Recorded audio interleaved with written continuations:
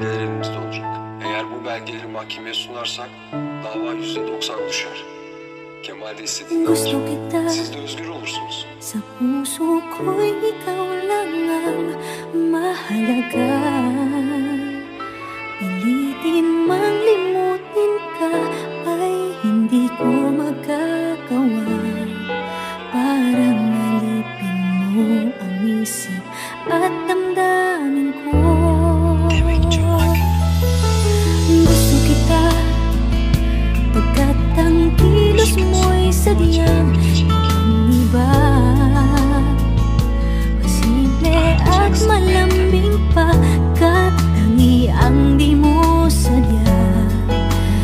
Thì